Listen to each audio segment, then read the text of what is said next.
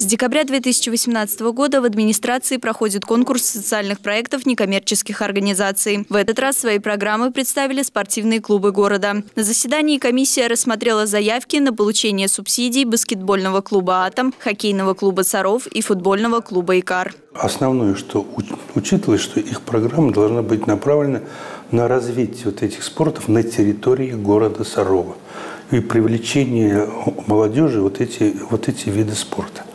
Вот.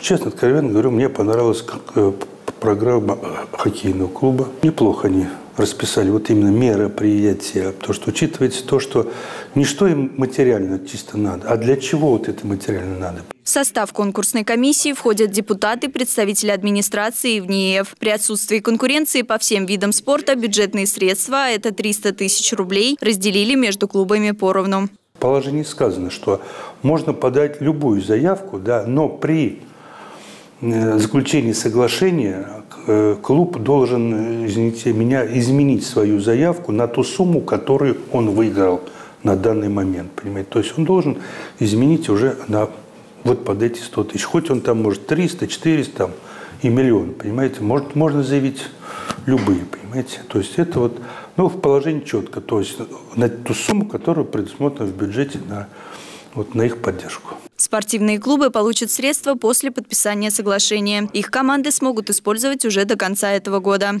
Дарья Козина, Евгения Шевцова, Сергей Рябов. Служба новостей Саров 24.